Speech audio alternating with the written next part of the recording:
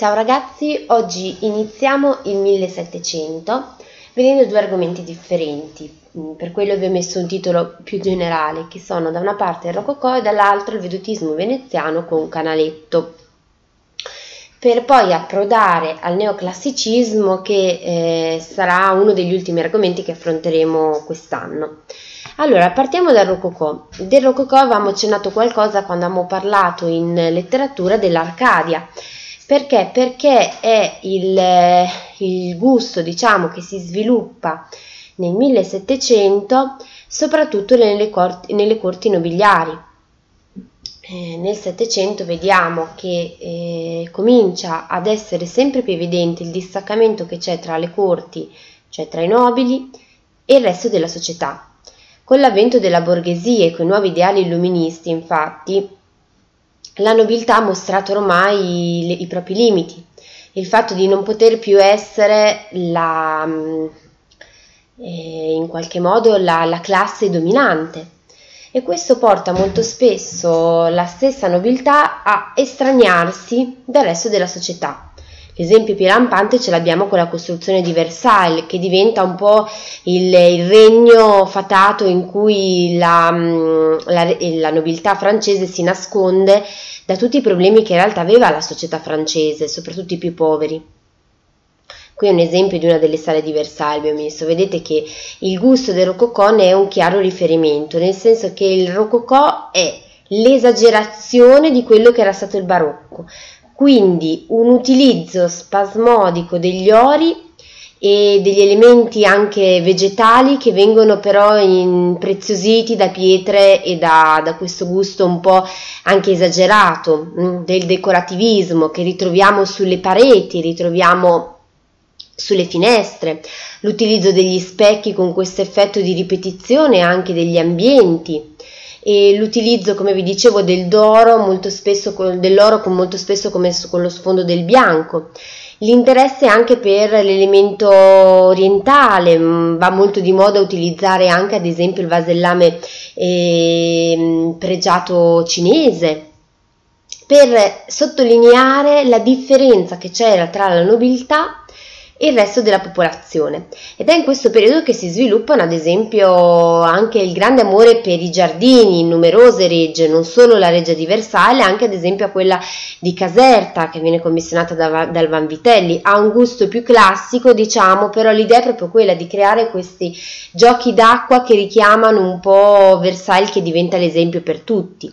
Il rococò potremmo dire che è lo stile dell'esagerazione, quindi, di questa eh, società nobiliare che si allontana definitivamente dal resto del mondo e quindi vive in questo mondo dorato, impreziosito eccessivamente per allontanarsi dai problemi di, di tutti i giorni.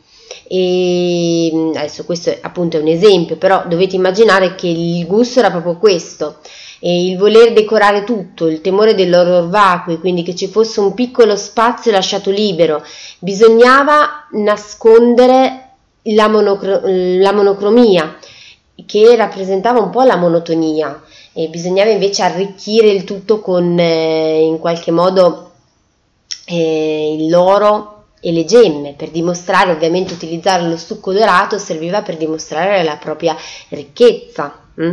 non a caso di contrapposizione a quest'arte si svilupperà poi il neoclassicismo che vedremo dalla prossima volta. A Venezia si sviluppa il cosiddetto invece vedutismo, che eh, si caratterizzava dall'utilizzo di un apparecchio ottico, una camera ottica che permetteva di vedere in maniera più ravvicinata anche degli aspetti al pittore in una camera oscura, di poter vedere eh, anche degli elementi che magari non balzavano subito all'occhio per dare una maggiore concretezza anche ai particolari più distanti.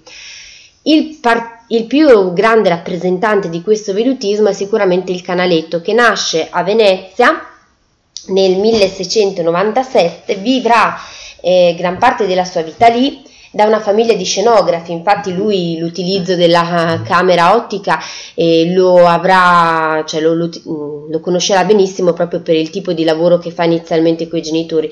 Poi si allontana da questa tipologia di lavoro familiare per interessarsi solo alla pittura. Nel 1746 si trasferisce a, a Londra dove starà per circa dieci anni, tornerà nel 1756 e rimarrà a Venezia fino alla morte avvenuta nel 1768.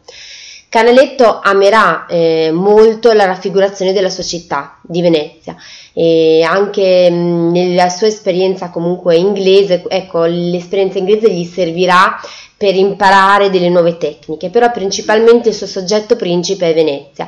Vi ho messo qui due quadri esemplific- esemplificativi. Il primo è il ritorno del Bugintore al, al Molo nel giorno dell'ascensione.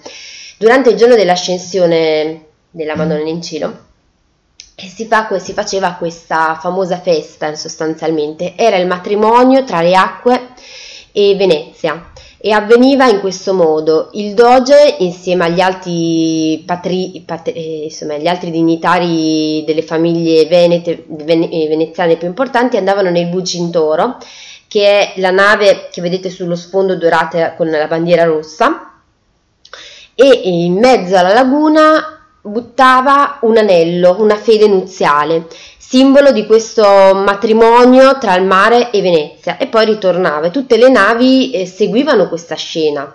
Qui vedete delle gondole mh, mm, e delle barche anche più misere.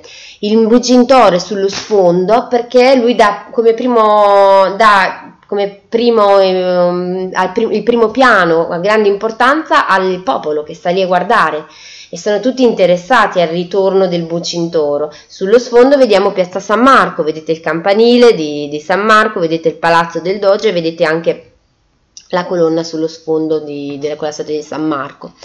La cosa molto interessante è che lui utilizza colori molto nitidi che perfe- permettono perfettamente di riconoscere i vari particolari. Questo è reso grazie soprattutto all'utilizzo della eh, camera ottica che permette di rendere con maggiore nitidezza tutti i singoli particolari. Cosa che noi ritroviamo anche in quest'altro quadro, sempre raffigurante il canale, mm, il canale grande, diciamo, cioè, eh, il il, la piazza del, del, Duomo, lo vedete da un'altra prospettiva, è il molo con la libreria che è sostanzialmente il piccolo baracchino sulla destra eh, davanti al palazzo del, del, comune e la chiesa della salute sullo sfondo che è la chiesa che vedete con la cupola sullo sfondo.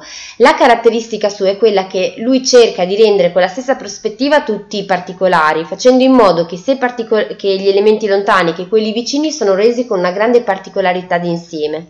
E questo permette di far sì che questi quadri risultino quasi fotografici perché tutti i particolari sono resi come se noi potessimo vedere nitidamente sia gli aspetti lontani che quelli vicini. E questo, come vi dicevo, è reso grazie all'utilizzo di questo macchinario che permette di dare anche una maggiore vivacità ai colori.